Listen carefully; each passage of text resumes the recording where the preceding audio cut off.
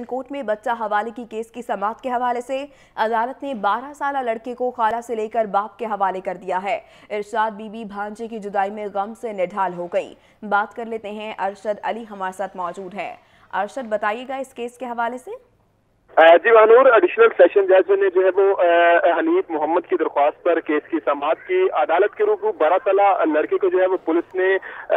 اپنی جو ہے وہ خالہ سمیت کمرہ عدالت میں پیش کیا۔ وکلا کی بحث کے بعد جو ہے وہ جب عدالت نے بارہ سالہ اس کے بھانجے یعنی کہ ماجد سے پوچھا کہ آپ نے کس کے ساتھ جانا ہے، تو اس نے بیان دیا کہ میں اپنے باپ کے ساتھ جانا چاہتا ہوں، جس کے بعد جو ہے وہ فوری ارشاد بی بی نے عدالت کو محافظ کرتے ہوئے کہا کہ میں نے اپنے بھانجے ماجد کو بیٹوں کی طرح پالا ہے لہذا عدالت جو ہے وہ میرے ہمارے ساتھ بھیجنے کے احکامات جاری کرے تاہم جو ہے وہ عدالت نے بکلا کی بحث کے بعد فیصلہ جو ہے وہ باپ کے حق میں دیتے ہوئے بیٹے کو باپ کے ساتھ جانے کے احکامات جاری کر دی تاہم جو ہے وہ جو خالہ تھی شاہ بی بی وہ ہاتھا عدالت میں احتجاج کرتی رہی اور دہائی دیتی رہی اور کہتی رہی کہ